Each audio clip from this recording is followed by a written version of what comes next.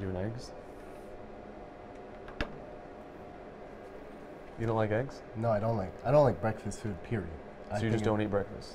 No, I eat eggs like every day. eggs are the worst. I don't like eggs. Why? They're just nasty, man. I don't Guys. like them.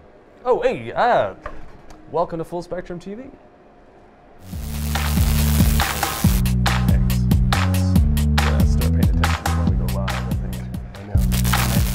Hey. Hey everybody, it's Walker and Nick at Full Spectrum Laser, and welcome to Laser Talk Live. That's right. So sorry for missing you yesterday, but there was an apocalypse affecting Facebook. But we've made it through it, and here we are on the other side. And it looks like the only thing that happened was a little bit of censorship on Facebook, but hopefully not in these comments of this video down below. So keep it clean out there, nothing controversial. And uh, remember, hate speech is not needed on any kind of social media platform at all. Uh, so without yeah, with, without further ado, uh, let's get right into the show. We got a really cool one for you today. Uh, we're going to talk about some inspirations Walker found on uh, Pinterest. We've got some really cool um, science talk about the difference between power and current. A lot of people ask about that. Totally useful. Absolutely great, uh, great little bit of information. Then Walker made some really cool license plate tags that we're going to talk about at the end of the show. So let's get right into it with our first section, Walker's Pinspirations. Live. Retro edition. Ooh, retro edition of Walker Pinspirations. We got five good ones. Five good ones. Awesome. So let's get into the first one. Oh, Ooh, I remember making a TV a little bit like this. I remember having a TV like this at my grandpa's house. Yeah. It was the wood antennas too. up top. Yeah, it was made of wood. Yeah, real ugly. Yeah, I remember my grandparents' TV had wood panels everywhere. It was the horrendous. It looked like it was like, uh, like a, um, I don't know, like a dresser or something. Had drawers on the side. Had huge yeah. speakers. It was, it was a Giant mungo, and then when you turned it on, it went yeah, yep, yeah. This is a cool little TV. You can use this for picture frames, all kinds of stuff. This is one of my favorite ones. Yes, though. I know you like this one, and you actually made something like this. Yeah, right? I I made some uh, cassettes a while back uh, I first started seeing these. A real detailed uh, cassette tape, but uh, these cameras and uh, the boombox. I think that's my favorite one. How cool is that? I mean, those could be sweet keychains. Keychains, ornaments, necklace dangles. Uh, those can be just cool little tchotchkes that you have on your uh, your desk. Like what a cool I like thing! mini things. right? Absolutely. Like imagine that as a giveaway for a trade show or um, something. Like what a cool way to like have your brand kind of go out. So let's say you're a musician or artist, you were going to a trade show or some sort of conference. You could have you know some keyboards with like your artist on or your website or your sound file or You whatever. know, I had a broken keyboard, oh yeah. and then I bought a broken keyboard. Random. From the pawn shop? Yeah. Oh, weird, weird. Uh, okay, so this other one here is another really cool one. Uh, I like that they like kind of took the video game and made it like I don't know. This is kind of like a shadow box Yeah, memorializing the video game. It's a cool place to put your game when you're not using it, right? oh, so he keeps it there, and then Yeah. when he's oh, that's a so cool it's thing to do. awesome display, and just imagine all your old games like that. Oh, that imagine a wall of games like that with Yeah. all that would be really cool. And then it's like taking it from its throne. yeah. And I've seen a lot of actual people printing on material hmm and then cutting it out with the laser. Oh, yeah, I've seen that too. Yeah, yeah. A lot of it lately, and it, I think it looks awesome. looks so good. Such a clean way to get good uh, defined lines, and I mean the fidelity of that uh, the printing you really can't get with any sort of laser. Uh, but I mean the three dimension, like Mario jumping there, like uh, it's just everything on there looks good. Looks like he's gonna die though. Oh yeah, that doesn't look good. looks like the uh, the bullet's gonna get him, Yeah. unless he just started jumping. Like we don't know the physics of what's going on. If he's Yeah. on his way down though, no bueno. No Yeah. bueno. Yeah. All right. So what else we got? I thought this was really cool. Very cool uh, use of stacked wood. And just a clean design. Absolutely. It's it's it's old and new all at once. Yeah, I think they call that um, what's it? Modern, uh, modern eclectic or modern Contemporary? mo- I don't know. contemporary rustic. What, it's some new word that basically is a oxymoron for old new. Oh. Yeah. Uh, yeah, I mean, I like it, and then w- the more I look at it, the more I think that's just an iron. yeah, it does kind of look like an iron. But wouldn't a cool grate on the front uh, look really cool? yeah, they could have done some sort of intricate, scroll like scroll work. Yeah.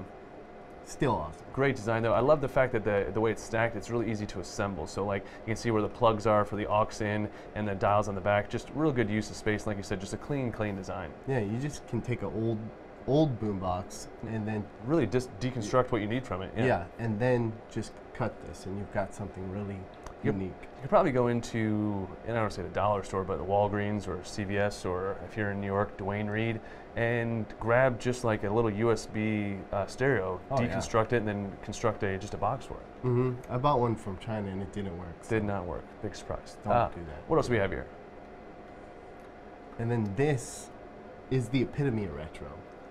I mean, the Atomic Diner. Uh, is that here in Nevada? We Looks have like something like something that. like that. Yeah. Uh, but what a cool little uh, logo, and those are just layered cut. Uh, I guess uh, or laser cut layered items uh, on Mhm. this. Looks like acrylic, right? Yeah, well, it's actually steel painted, but this guy, he does all kinds of work like this, and he specializes in that retro kind of look. Very, very cool. This is a, this is another great piece. Uh, it's where uh, the signage really comes into play with these laser cutters. Mm-hmm. Just imagine planning out that file. I think Uh, that'd be fun, fun. super fun. Yeah, that's half the fun I think of the design process is kind of figuring out the how it's gonna get put together. Yeah, yeah, Yeah, I yeah. think it's the best. Well, anyway, if you have a suggestion for uh, Pinspirations uh, for Walker to check out, or you have a topic you'd like us to explore with Pinspirations, be sure to share that down in the comments below and let us know. We'll take a look at it next week. We got some uh, Facebook. Oh, geez, what's going on? Uh, marked uh, safe from the Facebook blackout of 2019. Dave McGee, glad you made it, man. Glad to see you on the other side. Good to see Uh, Brad uh, Janikowski, uh, hey guys, still haven't been contacted about the award for last month's contact. Not a problem, Brad. That'll be going out in the mail actually tomorrow. Walker just finished up the Llama Award. We had a few other things put in this package, and you you. should What, expect what is that. the Llama Award? Oh, the, what's it stand for? Yeah, yeah. The uh, help me out. Laser Awesome Mega Award. Yeah, the legendary. Legendary Laser Awesome Mega Award. There See tries to throw me on the bus like I don't know. Uh, but yeah, that'll be going out to uh, next week, Brad. Be on the lookout for that. You'll have a little package of uh, other things. We're actually going to throw in some Rowmark uh, material for you as well. So be on the lookout for that as a, uh contest uh, winner. You're our first llama winner. So you'll have to give a picture and show everyone the cool little prize you got. We're keeping it a secret until you get it. So you'll be the first one to see it. Uh, but I mean, it's cool. A Little stand you made with the gold. Uh, it's I Thanks. like it. I'm a big fan. I'm a big big fan. And uh, Uh, hello to Renee and Monica. Absolutely. Uh, hello, you guys. Um, that kind Hello. that's that's like the um, almost a hey, you guys. Hey, yeah, you um, guys. almost. Uh, that one is super cool, Monica. We thought so too. That last um, uh, retro one, I think, is is really cool. Is that all the uh, shout outs we have Yeah, so far? So far. Okay, excellent. Thanks for the thumbs up, whoever just chimed in there. Uh, appreciate it. So, our next segment is actually another uh, very cool segment. Before we get to it, we have a quick sponsor. We'll get to that right now. This segment was brought to you by Cardboard. Cardboard, corrugated since 1976. Awesome. We got to get better sponsors for the show, but yeah, cardboard. Check it out. It's great It's for free. it's free. A lot of times, uh, if you are looking for something to sample cut, especially stencils, or just to see if something fits, a great piece of material to go grab real quick, cut it out, and see if it fits right is an old Amazon box or an old box Yeah. in, the in the cupboard. I like prototyping with it. Absolutely, cardboard's great for prototyping if something's going to fit within another piece. Or Mm-hmm. um, I I know some people go, "Oh, Nick, what about kerf? It's a little different." You're absolutely right. It is a little different. Um, Close enough. but it's so close that like you can kind of piece things together. And if you're gonna, if it's gonna come down to the thickness of kerf, whether or not it's gonna fit, it's probably gonna require another adjustment anyways. Yeah, Um, yeah. Um, but for the most part, with the software, if you take a square uh, and cut out another square on the inside, whether you, um, I guess it's going to fit together if you take the inner square and cut it out independently, and take the outer square and cut it out with the square cutout, just because the RE3 software actually accounts for kerf. So the true dimensions of the piece are almost always uh, maintained. Yeah. Okay, And so these are so small, so. Oh, absolutely. Um, so now we are on to our next segment, which I'm pretty excited about, and it's kind of a sciencey uh, section where we're going to talk about the difference between current and power on your settings. This so will be useful for everybody. absolutely. So here's our next segment called Ask, Ask, Ask. Ask The experts. experts. Believe it or not, that's us. Even though we could not pronounce ask Yeah. very well. okay, so here we are. Now, a lot of people ask, Nick Walker, what is the deal with power and current? I feel like I never use current and I'm fine. Yeah, what is current? Yeah, what does current even do? Um, really simply, before we get into like our graphics and things, if you can think of the laser tube like a gun, um, when you're on low current, you're shooting a low amount of bullets. When you're on high current, you're shooting a lot of bullets. And then the power is the size of bullets in which you're using. I just want to go. I see the scene from Commando with Arnold with both guns. Um, so we actually have a couple graphics that our producer Charles put together for you, so we can kind of uh, show the demonstration. So first, we're going to talk about power. Now, the laser power is really just the intensity uh, and the amount of uh, uh, pure energy that's coming to uh, the machine. So when you go from low to high power, uh, the size of the beam doesn't change, the No. pulse rate of the beam doesn't change, just the amount of energy uh, that's uh, getting to the beam, and that in turn is how much energy is getting applied to your material. So uh, your power setting is the most common setting used. It's how most people dial in uh, to get their cut settings or dial in specific uh, vector marking. Uh, now we should mention that as we talk about vector, uh, where we talk about current and power, we're only talking about vector cutting and Mm-hmm. Vector marking because It has it, uh, nothing to do with raster. Absolutely. So this wouldn't apply to any type of rasterization uh, at all. So uh, as we move on to current, now current is really the pulse rate uh, of the laser. So it's how many times your laser uh, is firing um, uh, as it moves across the site. So we use like kind of a frequency uh, representation there to see that like uh, low current, it's a lower pulse rate than a high current. You have more uh, of the laser firing at your material. Now, if you want to think about this for a practical sense, as you're cutting, you're going to want to dial in your power and speed settings first, and then you can always fine tune with the current. So if you're getting a bit of charring on the edge of your wood, uh, but let's say uh, turning down the power one more percentage or a couple more percentage actually doesn't cut through, Yeah. well, you found the sweet spot for power. If you want to get that like nice golden brown char, what do you do? Play with that current. Lower the current.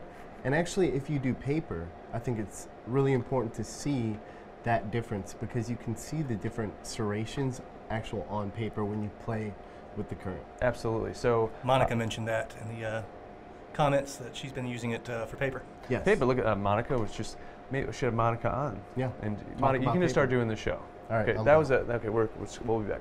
Just kidding, Monica. Great point. Paper, I think, is the most uh, important place where you start dialing in your current Yes. because it's so delicate. Another good That's one. That's where I learned it. Like, and that's why I learned it. Yeah. Otherwise, I was like, when I first started, I was in All the same boat. Yep. I was like, well, what's that about? Yeah, absolutely. And uh, another delicate things are things like lace. Um, other delicate like papers are where people are doing, uh, you know, personalized uh, gifts or uh, greeting cards or invitations. A lot of that paper is very thin and delicate. Great use of it. I also noticed that when you're doing leather, it's a great way to minimize the char on leather uh, when you're doing cuts with that. Especially less dense. Absolutely, leather. yeah.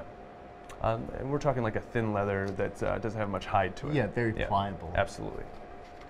Okay, so um, really, uh, if we want to kind of uh, summate this uh, as to when and how you use it, uh, power is like your large dial that you want to get very close to. Yes. Then current is what you can use to really, it, right? absolutely, dial it into exactly what you need. Kind of Uh, like a clock in the minutes, right? Hour, get that hour right, and then dial in the minutes. Absolutely. Uh, so many people in their applications, they'll never use current because they just have uh, power and speed that works well. I, I can see a lot of people with acrylic doing this, but as you move into thicker acrylic, even a quarter inch acrylic will give you this problem. You'll notice that a little bit of the kerf has a little bit of a, just a little bit of a bow to it. By dialing in the current, you can actually minimize the amount of kerf when you uh, dial in current, even on acrylic. So Monica said, just uh, ship her out and Oh, She'll no come. problem. So Yeah. we'll uh, We'll we'll fly her up. we'll get that approval uh, put through our executives, and we'll see how that turns I say out. we just put her in luggage and then under Oh, the there under the go. plane's cheaper. As long as you don't mind flying under the plane, I think we can work this out Yeah. sometime today. So we got a couple questions for the experts. Of course. What questions we have? Uh, first, we've got uh,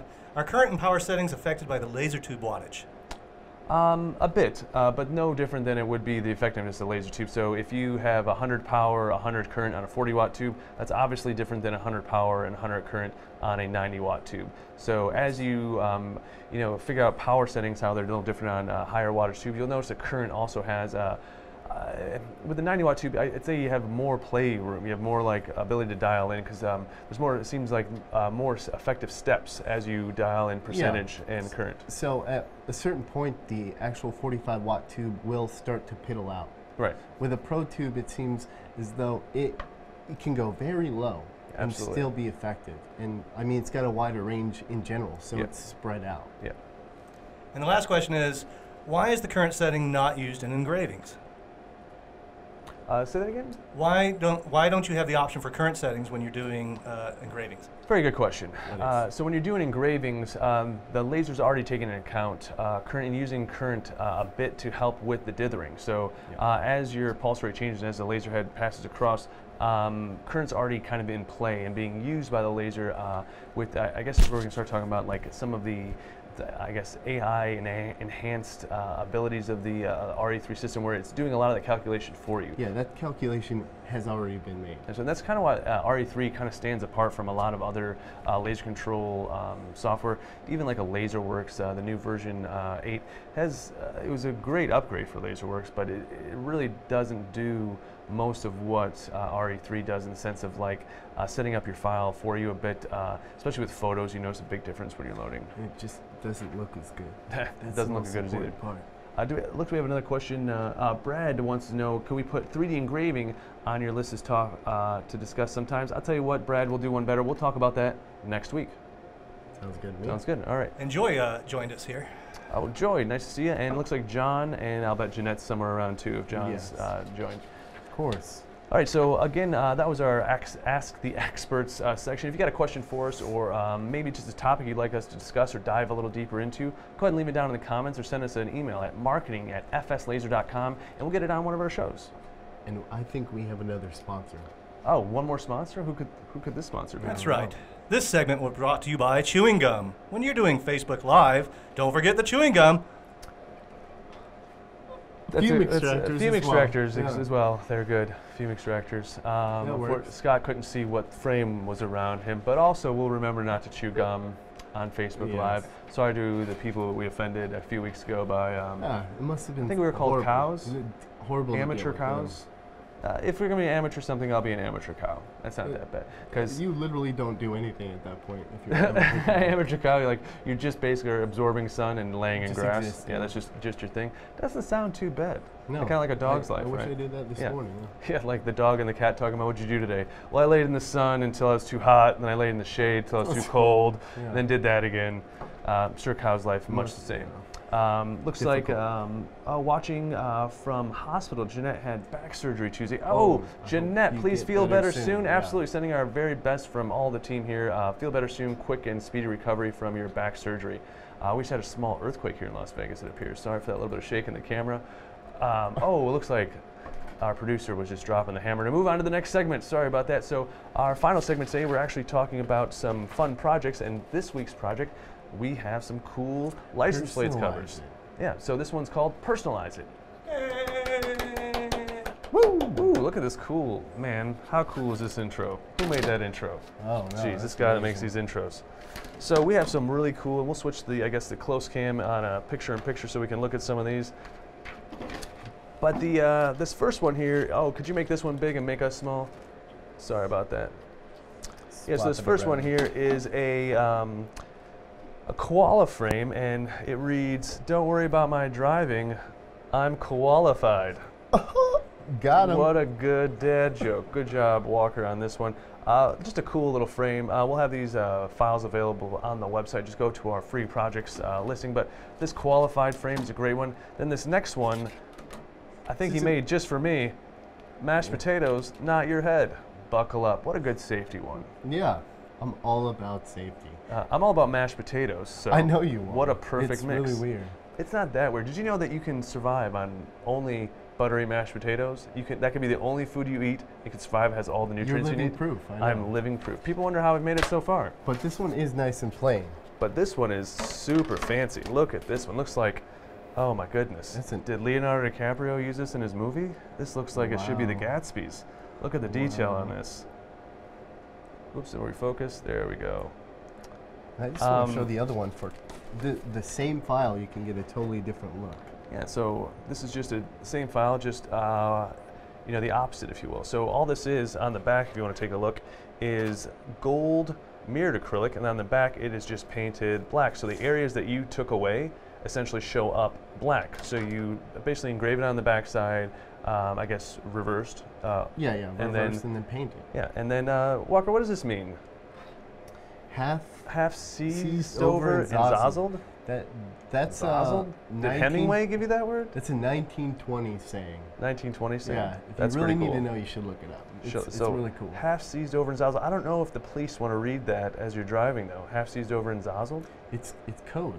It's code. Yeah. Okay, they'll know. They'll know that you're cool. Yeah. Okay, so we'll put this cam back on Scott real quick, just in case we have another word from our sponsor. Um, looks like uh, with this project, um, I like these because you can use just about any material, right? Yeah. But what would you prefer to use since it's a license plate and it'll be outside? So I would use acrylics, especially the Rowmark stuff. I think the Yeah. metal. Yeah, these metal plate, uh, well, the metal look uh, Mhm. Rowmark stuff. Like, if you can see, this is very thin and super pliable. Uh, it's got good tensile strength, so this will last. This will stand up a long time on your car, and it's just a great look. I mean, this looks like it's like professionally It, done. it looks like brushed aluminum. yeah, It's it does. really looks great. You know what you could even do? You could add this as a layer, the koala bear, Mhm. and glue that on, and that would even be a great look. It'd be uh, cool if you laser cut uh, Woody and Buzz and then had them hanging from a string. Oh yeah, and they were just bouncing on the back. Yeah, that'd be funny Yeah, too. yeah. Uh, so, anyways, uh, these uh, projects will be available on free laser projects. They'll all be customizable. You can actually drag them right into like this file, drag it right into RE3, and then customize the text you want right there in uh, RE3 program. Don't need a single other bit of software No. uh, to do this. And it's perfect for every license plate in the U.S. Right. So, if you're from the UK or what's another one, long ones. Uh, Germany has long, Oh, yeah, Spain long, has long, skinny. ones. Uh, essentially everybody except us. Yeah, I think it, they're- look so cool. they too. look cool. Yeah, way like, cool. Especially like Ferrari's got that So cool. Yeah. classic car. Mm. Uh, so if you're in the UK or European Union and like you're looking for license plates covered, just send us those dimensions Yeah. and we'll add another uh, one for you guys. I mean, they already look so cool. Yeah, I don't know why even mess that up. But Yeah. I bet they think the same thing about ours. They don't. This is like a golden ratio. Is It's it? like perfect dimensions. Yeah, this is great. Wow. Anyway, uh, so we got a few announcements for you uh, uh, this week. Uh, first of all, I always want to thank all of our, our viewers, uh, everyone that we Yeah. mentioned before. We got Monica, Joy, uh, Brad, John, Jeanette, all And watching I in. hope Jeanette gets better soon. Yeah, Jeanette, we sincerely send our very best. So sad to hear about uh, uh, you're in the hospital, but uh, hope the surgery fixed everything with your back and you're up and at 'em uh, soon. Um, very soon, actually. Uh, So Mhm. what else we got? Every uh, Wednesday, now I know it's Thursday, I know it's uh, a little bit off, but uh, so long as there's no other Facebook apocalypse next week, we'll be back again at 4 p.m. on the West Coast on uh, Facebook Live uh, for another show. If you got any ideas or something you want us to talk about, uh, we will do that next week. We'll, we'll be talking about 3D um, uh, printing. Uh, but one big shout out uh, we did want to give is we had a uh, customer actually stop by for some training this week who watches so the show. Kurt uh, Diemer, I believe is how you say his name. Diemer, Yeah, Diemer, so. D I E M E R. But Kurt stopped by to get some uh, specialized training on his new laser that he just picked up. He's a really nice guy. Super nice guy. Like uh, he recognized us when we came in the door. yeah, like, yeah. I He was was like, like, oh, it's Walker. And then I started talking to him and had a great time. Then you walked in, yeah.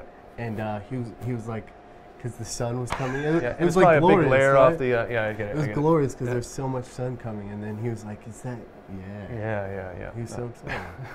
Uh, so Kurt, thanks again for stopping by. I hope the training helped a lot. It Seemed like you Yeah. got a lot out of it. Uh, we always love when customers come in for uh, personalized training on the laser system. Uh, just to let you know that that training is available not only here at Full Spectrum Laser, but can also come to you to do training. Walker will literally show up to your uh, workshop, uh, you know, store business, Unannounced. uh, unannounced, completely. You just hear a knock on the door, and you're like, I wonder who that is. Mm. And the next thing you know, it's Walker. He just comes in and he fixes your laser. Just kidding. But we'll schedule a time for you. Walker can fly out, uh, come in and show you uh, application-specific, machine-specific uh, training, how to get the most out of your laser.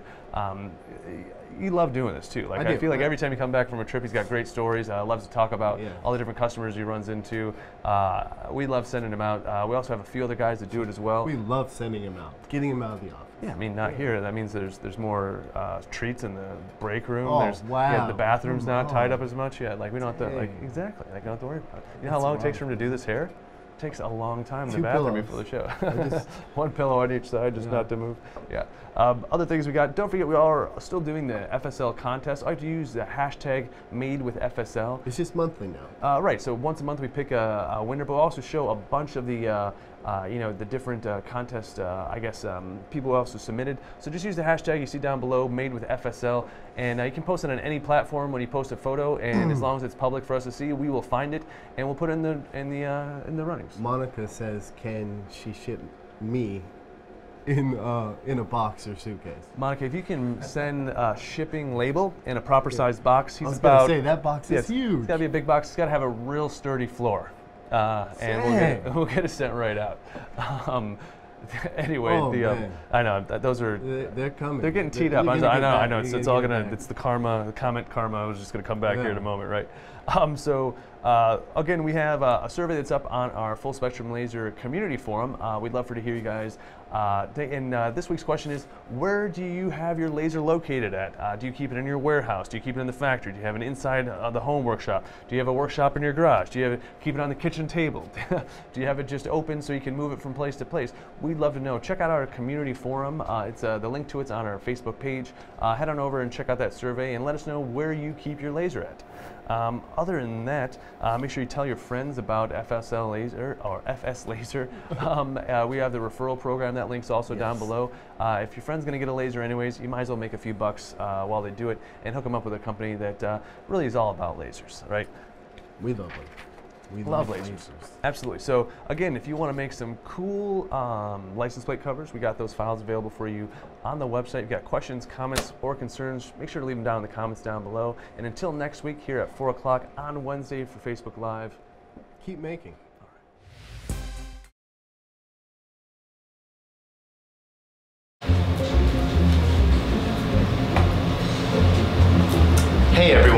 Watching. If you want to subscribe, it's over here. And we've got a lot more videos over here.